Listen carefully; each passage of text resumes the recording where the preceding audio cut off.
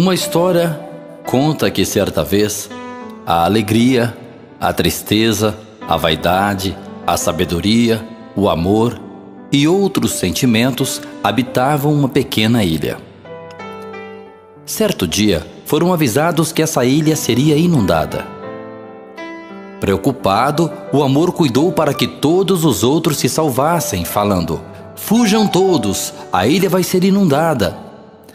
Todos se apressaram a pegar seu barquinho para se abrigarem no morro bem alto no continente. Só o amor não teve pressa.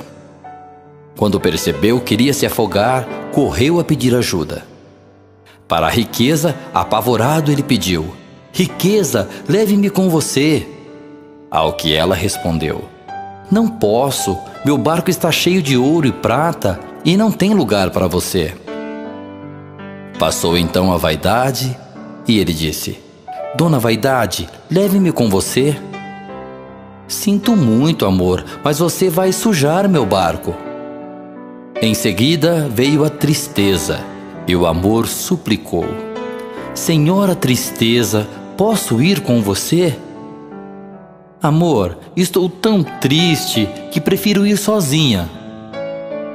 Passou a alegria, mas se encontrava tão alegre que nem ouviu o amor chamar por ela. Então, passou um barquinho onde remava um senhor idoso e ele disse: Sobe, amor, eu te levo. O amor ficou tão feliz, tão feliz, que se esqueceu de perguntar o nome do velhinho. Chegando ao morro alto, onde já estavam os outros sentimentos, o amor perguntou à sabedoria: Dona Sabedoria, quem era o Senhor que me amparou? Ela respondeu: O tempo. O tempo? Mas por que ele me trouxe aqui? E a sabedoria respondeu: Porque só o tempo é capaz de ajudar e entender um grande amor. Dentre todos os dons que Deus concede ao homem, o tempo tem um lugar especial. É ele que acalma as paixões indevidas, ensinando que tudo tem sua hora e local certos. É ele quem cicatriza as feridas das profundas dores, colocando o algodão anestesiante nas chagas abertas. É o tempo que nos permite amadurecer através do exercício sadio da reflexão, adquirindo ponderação e bom senso.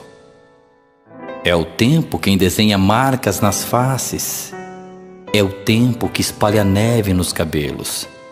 Leciona calma e paciência quando o passo já se faz mais lento. É o tempo que confirma as grandes verdades. É o tempo que destrói as falsidades e também os valores ilusórios. O tempo é, enfim, um grande mestre que ensina sem pressa, aguarda um tanto mais e espera que cada um, por sua vez, se disponha a crescer, a servir e ser feliz. E é o tempo, em verdade, que nos demonstra no correr dos anos que o verdadeiro amor supera a idade, supera a doença, a dificuldade e permanece conosco para sempre.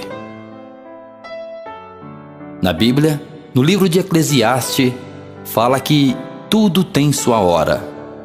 Eclesiastes capítulo 3 diz que cada coisa tem seu tempo. Há o tempo de nascer e tempo de morrer, tempo de plantar e tempo de colher tempo de derrubar e tempo de construir. Há tempo de se tornar triste e tempo de se alegrar. Tempo de chorar e tempo de sorrir. Tempo de espalhar pedras e de juntar pedras. Tempo de abraçar e tempo de se manter longe dos abraços. Há tempo de calar e tempo de falar. Há tempo de guerra e tempo de paz. Tempo de odiar e tempo de amar. A Bíblia diz que devemos odiar o que é mal, não a pessoa que pratica o mal. Portanto, sempre é tempo de amar o nosso próximo. Reflita nisso use bem o seu tempo.